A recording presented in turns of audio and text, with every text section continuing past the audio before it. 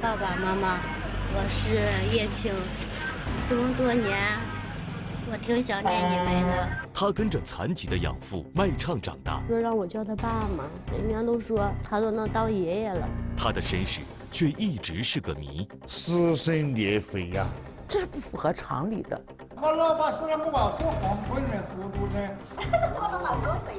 他 们总想占有他，他拿着剪刀在后面，他就问我过不，我就说不过。他却总是在逃离。他给你们钱了没有？没有。当往事的尘埃落定，他的爱恨情仇终该如何化解？欢迎收看本期夜线。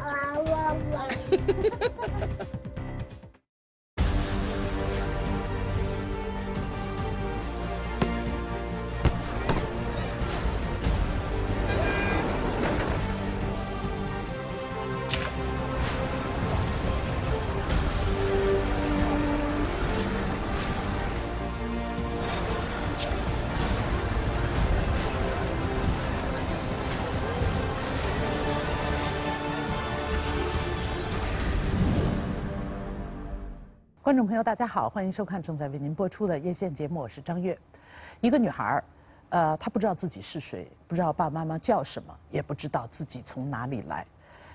她从小跟着一个卖唱的养父长大，直至有一天，她决心要搞清自己的身世。那之后的经历真的是跌宕起伏，一起来看。还原，梳理来龙去脉。二零一七年三月，寻亲网站“宝贝回家”的徐州志愿者夏雪接到一个朋友打来的求助电话，想让他帮一个身世很特别的女孩寻找亲生父母。他说有一个去他们那办理生育手续的女的，身世呢可能是被人拐卖来的。那个女孩问他说：“能不能想办法找到她的亲生父母？”我就接触到了张新玲和她的老公。当时已经怀孕的张心玲，对于自己的出身记忆很有限。我就来到这边，就就记着有一个姐姐，一个妹妹，就来到这边跟着我养父长大，其他的记忆都没记不着。她从小是跟着一个就是残疾老人卖唱长大的，她知道这不是她的家，她家在山区，家里有有姐姐有妹妹，她是被一个女的。带到徐州来的，他就就要了六百万年，直接把我给我养父了，然后以后我就跟着我养父一起生活嘛。在他十九岁那一年呢，老人去世了，去世之前告诉他说：“你要想回家找你的亲人，你就去隔壁村找一个姓蒋的这个女的，是她把你带来的。”等这个张新玲料理完老人的后事之后呢。就去找到了这个姓姓蒋的，但是这个女的呢，给他说你是人家不要的，说你不要找了你。然后那个就是说找派出所那个啥啊，那你找找呗，说啊我把你带过来，好心好意给你那个啥了，嗯，你还怎么的？我又不是拐卖你那种的，你随便找就好了。他那人就说话可急了，知道吗？但是我对他的了解也不是特别清楚。张新林就没有办法。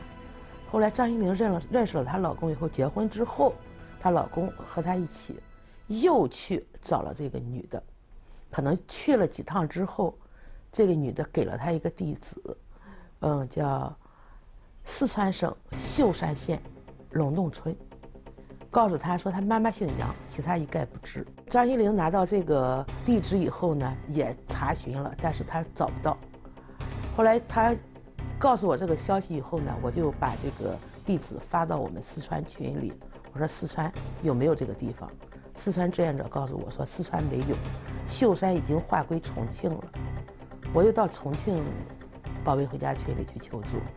当时呢，我成立了一个就是叫秀山女孩讨论组，大家进行了激烈的讨论之后呢，当时秀山的有几个志愿者就去秀山实地采访，因为他是他很清楚的。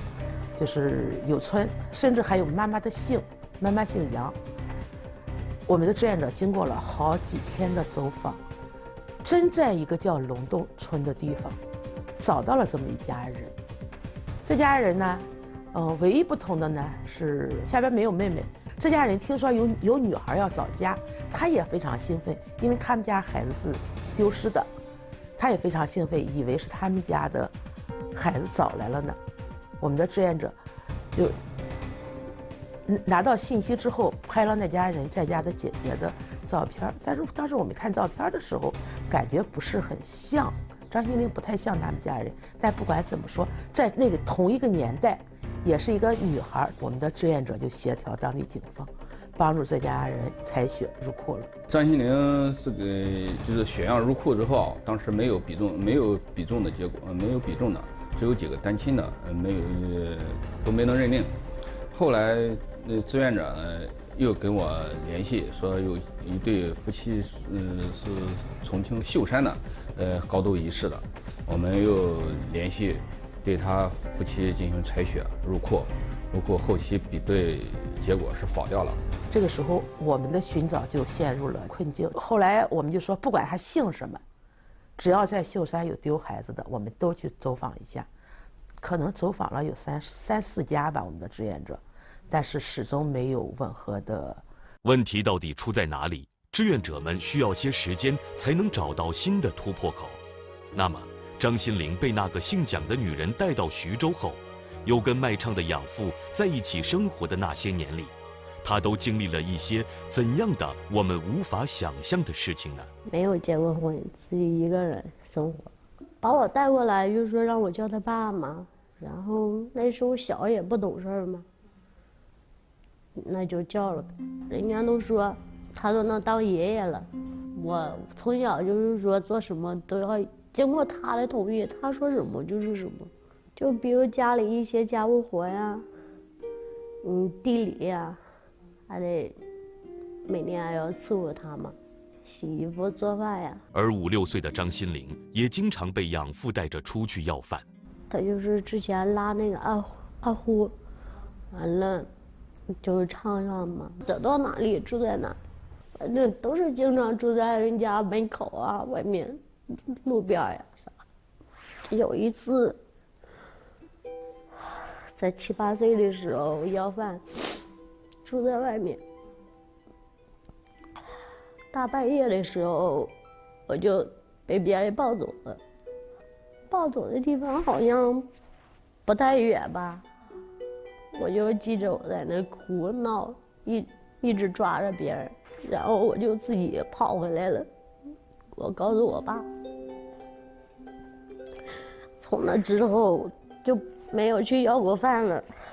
养父把张新玲带回了自己的农村老家，没有了卖唱的收入，小小年纪的张新玲除了干家务活，又要被迫去地里干农活。小的时候割豆子，抱着镰刀，一个手都拿不动，都是两个手抱着干。八岁那年就学会自己做饭。以后以前那会烧着锅，就把手都烫了。有时候就是让我做，我不愿意做，我就跑出去玩，跑出去玩就不让我回家。有时候就短，就我就跑，他就就去找我，那经常挨骂挨打吧。而记忆最深刻的，还是那种永远都处在饥饿状态的感觉。我就是每天都是挨挨着饿肚子。我们都吃煎饼，他都不舍得买，都是整面食。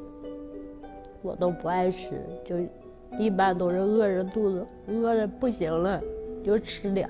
我就到现在我也不怎么爱吃菜，就是炒菜我也吃的少。终于熬到了成年，张新玲可以去外面的世界看看了。她觉得只有一个办法能够摆脱这个不像家庭的家，就是找个男人把自己嫁掉。她碰到了一个看起来对她很殷勤的男人。你出去打工的时候，他反对吗？反对啊。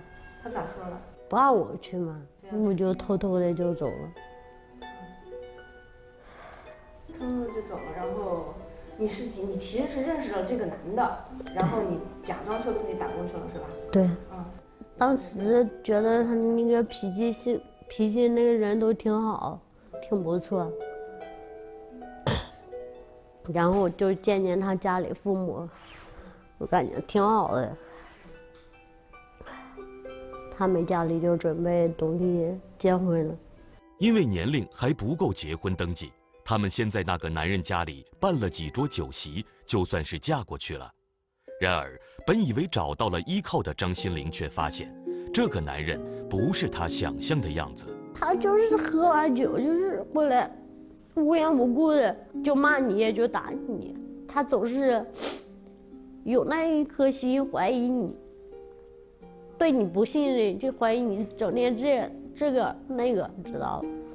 他们家人有人是这样的，他就把别人想象的跟他家人一样。就是说，他拜把子兄弟来家了，完了那啥了，他也是会多想，那人特别小心眼。打我严重的时候，就是说，拿着什么就扔我，就砸我，就就按我脸就啪啪的呼，骂的难听的，是什么话都能骂出来，就连我养父什么话都能骂得出来。他那人就是说。就在我们结婚之后，就是说，吵架起来，他连他妈他都走，他就后来就就一直催着我拿结婚证，我就不拿嘛。然后都催了很多次，我就一直都没有拿，结果就是就一直这么将就着过了。终于有一次发生了一件事，让张心玲对这个男人死心了。他就问我能不能过，我说不能过，死活不过。谁知道，他拿着剪刀在后面，他就问我过不，我就说不过。他就拿着剪刀，把我的腿挠伤了，就就哪怕把我脑残废了，养活我，他也不会让我怎么好过。张心玲带着流着血的伤腿回到了养父家里。那你也没去报案呐，或者怎么样？没有，因为我养父这边那些哥哥姐姐毕竟不是亲哥哥姐姐，他们拿我不当回事没人管我的事情。就那些我大娘家、我二娘家的那个哥哥姐姐。他们一直都看不起我，我们和他们也不来往。张心玲腿上的伤慢慢好了以后，她本想和养父一起好好生活的，没有想到的是，养父却突然病倒了。他得的是一种致命的病——肝硬化腹水吧，在床上躺了有三个月吧。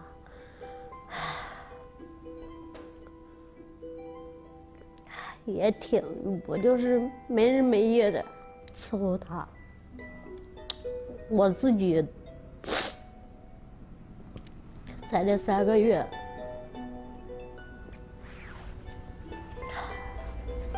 我都没不知道什么是白天，什么是黑。没过多久，养父就去世了，这让张心玲的心里更空了。我跟我爸从小到大，就包括他到他去世那一天，我。我们就是说，见面跟仇人一样，见面就吵，见面就吵，就不见了吧就想，见面了就吵。不过等去世了之后，现在一想想，以前不管怎么样，不管他好与坏，回家了总是个家，有个爸在。现在回去，一栋空空的房子，啥也没有，也挺后悔的。想吵架也都没有人跟着你吵架。而张心玲对于这个养父也怀着一种复杂的感情。他一个人把我养活大，也挺不容易的，还得感挺感激他。他虽然对我不是很好，我现在明白了，要是没有他，也没有我今天。他做的一切也也是为我好，比如不结婚，不让我结婚。我要是不结婚，也不会经历那一段。他一直有这个希望，就想让我留在家里，找个对象回来，能帮帮家里，能干些活，能照顾这个家。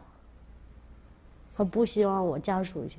我当时对他就这么说，我说就以咱家这情况，要啥没啥，房子也不好，要钱没钱，谁愿意上咱家来过这种日子？可能觉得你长得还挺漂亮，估计有人愿意。我好像跟别人不太一样，从来没有认为自己，感觉我长得挺挺漂亮、挺好看的。我就感觉我自己长得挺丑。我在这边生活长大的，他们都总说，肯定是你小的时候丑，长得特别丑，就你妈妈不想要你了，把你送人了。我养父这边那些邻居啊啥的，他们总是这么说。那么，自己真的是因为长得丑而被亲生父母抛弃的吗？如果不是的话，那他是为什么会离开父母呢？张心玲的心里一直在寻找一个答案，而这个答案只有在找到亲生父母后才能找到。那有十来岁吧，就看见人家小朋友啥的有爸爸妈妈，都一直都有这个想法，想找到爸爸妈妈。就包括现在，有的时候睡着觉想着想着，也是在那哭。就总之感觉想着有个妈妈会好了很多。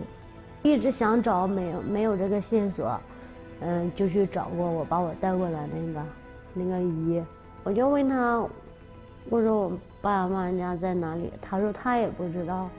说只有他妈妈知道，他妈妈去世了，然后就说他妹妹知道，他妹妹知道，然后联系不着他妹妹，他就不告诉我家地方，就说啊，你家的你家在哪，我也不知道。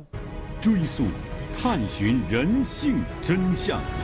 观众朋友正在播出《叶线》，这个无依无靠的孤女，早早的把自己送进了一个男人的怀抱，就是为了得到一点温暖，但是很不幸。那又是一场噩梦。庆幸的是，后来她总算碰到了一个对她好的男人，就是她现在的丈夫。她怀里抱着那个孩子，是他们两口子的孩子，而且张心玲的肚子里面已经有了老二。当了妈妈的张心玲，现在更想知道自己的妈妈是谁。她能如愿以偿吗？咱们接着往下看。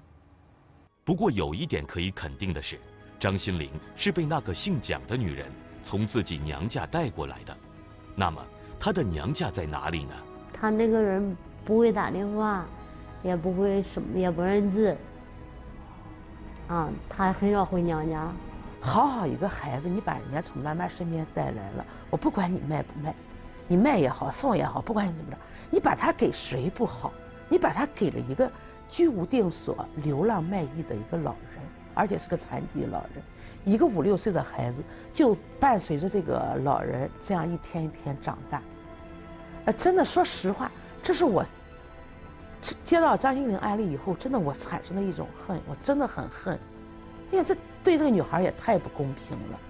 还有一个呢，让我最气愤的就是说，张心玲来了，不管怎么来的，到这里生活了二十几年，收养她的老人也去世了，她在这里无依无靠，举目无亲。这个时候，老人在临终的时候还告诉他：“你去找某某某，让他带你回家。”这个时候，他为什么这个带他来的这个妇女为什么不把张金玲家的正确地址告诉他呢？这是不符合常理的。即使是送养的，我们也遇到过；即使是送养的孩子去找中间人，中间人肯定不说，因为他对养母有个承诺，我不能告诉你孩子。我是从哪儿报？但是，一旦孩子这边养父母都不在了，中间人都会说的。嗯，后来我想了一下，我说：“我说我给你讲个办法吧。我说你看看，有没有其他人能帮助我们打听到？我们找现在不说找你们家，就说别不要打听你们家是哪的，能不能打听到这个姓蒋的他娘家是哪里的？我想，既然他把你从四川带过来，他一家应该离你不远。那这个女孩。”就张心玲的来龙去脉，她娘家人应该能知道。这个时候，我们当地的志愿者呢，又通过他村里的人，就又间接的打听到了这个姓蒋的妇女，她爸爸的名字。这个名字对我们就是找到张心玲的家起到了至关重要的作用。我们在就是我拿到这个名字的时候，我就转给了我们秀山的志愿者。我看了那上面的地址是一个龙洞村，在一个叫龙洞村的地方。因为我在网上查找没有龙洞村居委会的电话，我又打了幺幺四查找。查找之后呢，他就告诉我红卫村这边有个龙洞村，我就找了过来。我去那个红卫居委会问了一下那个蒋先平老人，他家呃是不是住在这里面？我问是不是有这么一个人，他告诉我有。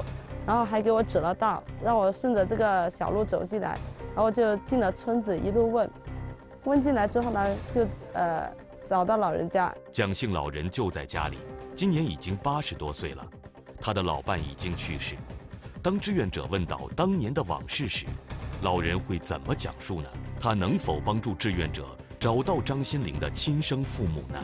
老人家他说，呃，当时小孩送来的时候。他也记得不是很清楚，啊，只是说在他家待了没多久，啊，就被他女儿接走了，带过去当那个童养媳或者女儿养。后来因为他女儿家养不活，养不活了，然后就送给隔壁人了。我说能不能找到他家父母家？他说找不到。他说呃，我只知道他姑姑家住在这里，但是姑姑一家都不在这个村子里面住了，都外出了。后来呃。经过那个姑姑的邻居，要了一个姑姑的电话号码，但是打过去，姑姑说呃打错了，也不知道真打错还是假打错了，反正就是没打通。后来姑姑的邻居就告诉我们说，呃他有个妹妹，嫁在这个村子里面。后来呃蒋先平老人又带着我们去那个妹妹家，在妹妹家坐了一会儿，跟妹妹沟通了一下，妹妹就说，呃我也不确定这个事。她说我要打电话给我妈妈问一下，然后我就把那个照片也翻给他们看了。她说确实是挺像的，啊，然后他又打电话给他妈确认。当时他父母也说，呃，反正就有点支支吾吾的嘛，也不是特别确认那种，也对我们有有所怀疑，就也不是很相信我们。然后我跟他说了很久吧，我就说你这个你可以完全放心。我说我们没有恶意，而且我们帮你们寻找亲人啊，我们是不收取你们一分钱的那个报酬或者什么利益的。我说你要呃放心，把你的心打开。但是他好像还是不怎么相信吧。然后我就简单的跟他说了一下，留了个电话号码。他说，呃，我跟我妈沟通好了以后，他说我再给你打电话。我说可以吧。过了一段时间，妹妹那边一直没有消息，志愿者主动打电话催促，他想让妹妹转达父母去采个血，然而那边的态度还是很消极。那么接下来怎么办？是什么原因导致他们对此事如此冷淡呢？还是说这也许根本不是张新玲的父母？好在志愿者从妹妹的口中得到了她父母的名字。并得知父母的家庭住址在贵州省铜仁市，其实不在重庆，是在隔壁的贵州省铜仁市。这个地方呢，虽然它是在贵州省铜仁，但是呢，它和这个，呃，秀山呢，只只隔了两公里，但他又属于了铜仁，就是贵州铜仁。这个时候呢，我又拿着得在铜在秀山得到的消息，就到了贵州去求助。子润在下雪。发过来的信息是江苏啊，徐州、邳州市这么个地方，这个人在这里呀？怎么你就是从松桃送到了重庆秀山？这个孩子为什么到这儿去了？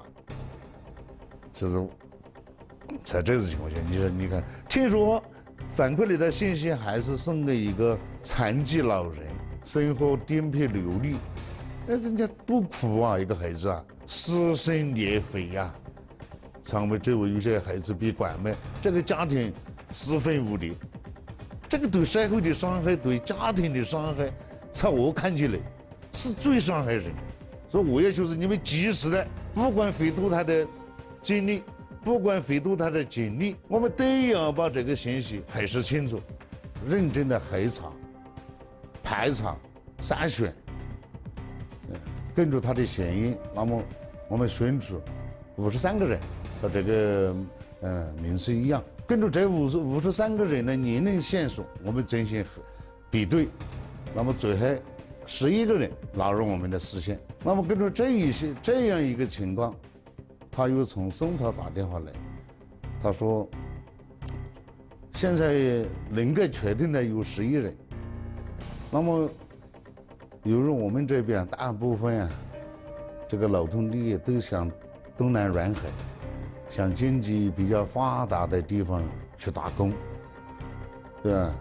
那么筛选到其中一个人，他的女是他的母亲，叫龙子仙，到家，嗯，那么他的父亲呢，在河南驻邦电视下面一个县打工。警方迅速出发，去龙子仙位于一个苗族自治县山区寨子里的家核实情况。去到了龙子仙家，龙子仙家里的话呢，呃，现有人口有他的公公，他们夫妻俩，还有那两个女儿，一个小儿子，在家的呢就仅有龙子仙一一个人在家，其他人员都为了生计的话都出出去打工去了。因为我们下去办案的话呢，都是便衣下去，呃，龙子仙的话又没有文化，或者出示我们的工作证件的话呢，他也看不懂。一开始他还是不相信，他认为我们我们也是骗子，哈哈。所以的话，开始他就对我们还是有持不持这个排斥态度的。经过警方和村干部做工作，龙子先终于减少了一点警惕。他简单讲述了一下自己家里当年的事情经过。他说，九三年九月份的时候，他的二女儿出生，出生了之后的话，不到半，大概就是半岁的时候，他就把经过他自家的亲戚介绍，把这个叫杨艳琴的女儿送送给了邻村的一个蒋氏家里。他说，这个蒋姓人家的女儿是出家在山东。后来的话呢，这个送出去这个女儿的话呢，就被蒋家蒋家的人的女儿呢，又带去了山东。他说的原话是是这样告诉我们的。实际上，根据呃下学发来的帖子来看的话呢，蒋家的女儿就在邳州。从这点来判断的话呢，他们之前一直都是在骗这个。杨秀红、龙子仙夫妇。说到解析集思广益，观众朋友继续播出夜线，到场嘉宾樊志强律师、心理专家毕金怡女士，欢迎两位。张新林说他呃是记得当年他的那个养父是给过那个就是那个蒋姓女子六百块钱，然后就就是留下了他。那这个六百块钱的存在，能不能说明张新林是被拐卖的？要确定这个是不是拐卖啊，主要要看他主观上是不是有出卖获利的意图。这个民间送养和拐卖儿童啊，最核心的区别就在这儿。如果你有主观上出卖获利的意图，那么就是拐卖；如果没有，那就是民间送养。从本案的实际情况来看，如果说这个蒋姓女子收了张新林养父六百元钱的话，那可能就要涉嫌拐卖了。嗯，第一，她把这个张新林交给养父的时候呢，没有考虑过养父的生活条件，他是一个靠卖唱为生的残疾人，还是个孤老头嗯，他根本不知道怎么养孩子。嗯，第二，六百元钱在一九九三年的时候，而且在那样的偏远山区，那不是一个小数目。嗯，然后我记得我在一九九三年的时候，工资才一百多块钱。嗯，这个女孩啊。我觉得她的命运跟很多我们碰到的苦命，我们老说那苦命人儿特别相近。就是她本来身世就挺苦的，这样的孩子呢，都早早的就跑出去啊找对象，一般都早恋，早早的嫁人。为什么呢？是因为摆脱孤苦的处境，想要得到一点温暖，几乎就是一个规律。所有这样的孩子都嫁不好，这种姑娘最后一定会要找温暖，最后找着一大堆暴力和伤害。就跟一个魔咒一样，为什么这个女孩也是这样吗？严格意义上来说，其实是两个规律哈。第一呢，我们是群居动物，我们是需要亲密关系的。嗯，如果先天缺乏，还有就是我们说，比如家庭不够温暖，都是容易，呃，用其他的方式来找吧。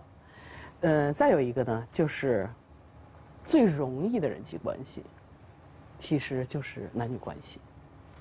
它可以非常迅速的，就让你觉得好像是拉近了，但是实际上，嗯，是不是真的了解？是不是对方的那个感情的素质？是不是你可以接受，或者是你所期待的？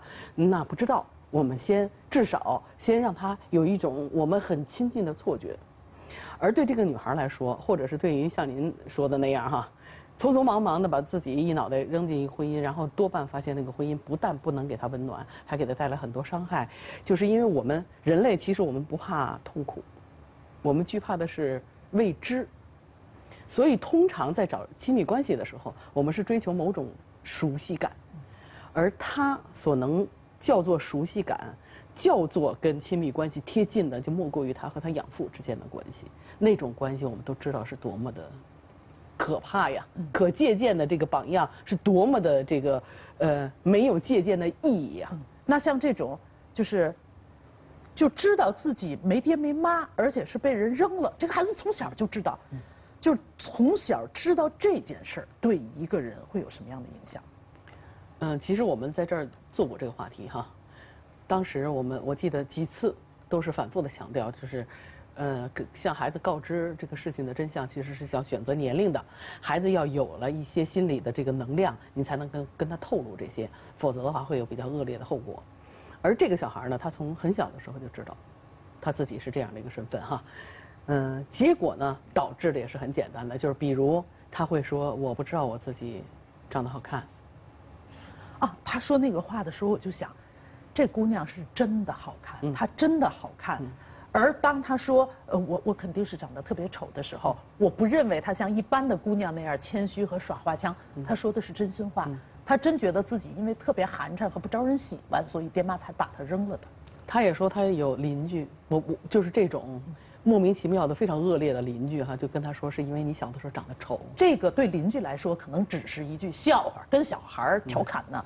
但是对一个小孩是特别大的打击，是吗？尤其是对他已经知道了自己的这个身世，因为被自己最亲近的父母抛弃的这件事儿，任何人是咽不下去的。嗯，于是他必得要合理化他，在合理化的过程中，他就给自己加了一条，就是不但我自己觉得我自己不怎么漂亮，其实邻居都觉得我不怎么漂亮，而且据他们说，我父母也有可能知道。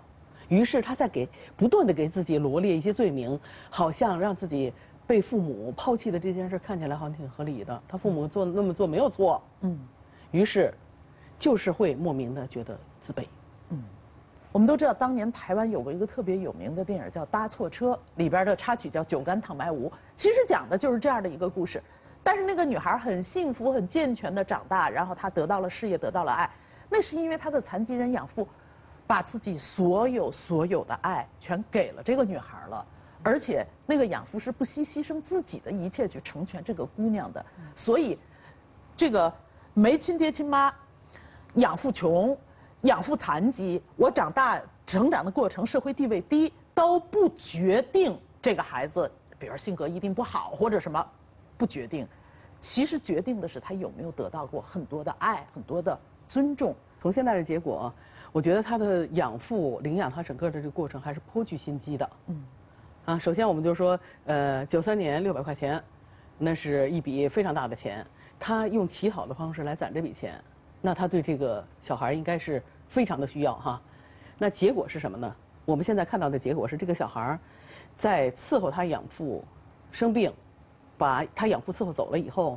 这个小孩突然觉得自己没有家了，而实际上他曾经有过家吗？他他没有过家，因为他那他那个他就得认为是家了。但是实际上，我觉得这就是这个老头的心机的地方，就是他真的把这个孩子训练成了他想要的。他要的是什么？就是有人伺候他，有人陪伴。这个小孩说过，他不但要干家务，他要干田里的活，而且他得伺候这个老头。而那个时候，那个老头并没有生病，所以实际上。为什么他不会像《酒干倘卖无》里头那样？因为两个人的作为是完全不同的。是张心玲是个挺不幸的女孩呃，她的身世到底是怎么回事她能不能找到她的亲生父母？如果她能找到她的亲生父母，她的亲生父母能弥补她内心的伤痕吗？明天的夜线节目咱们接着说。